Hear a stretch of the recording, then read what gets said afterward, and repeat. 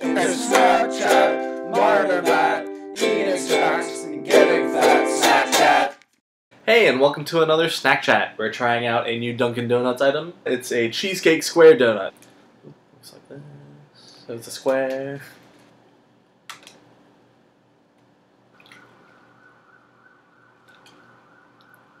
So is this weird because it actually tastes like I'm eating cheese? Like there's part of it that doesn't seem very cheesecakey to me. That's definitely what I'm getting. I mean, it tastes like a cream-filled donut, You think that's what it is? I think it actually sometimes tastes like cheese. like but Which not is cream weird. cheese. Yeah, and not sweet. Like it's just like, oh, I'm having cheese with my donut that's frosted.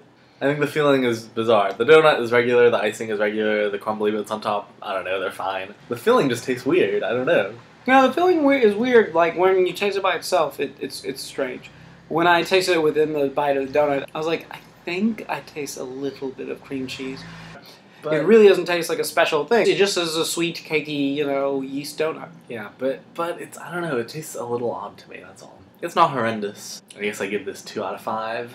I'm gonna give this two out of five munchkins. It's an okay donut, and it's a terrible It's not- cheesecake it's anything. very- I I just don't think it's very good. But eh, I don't know.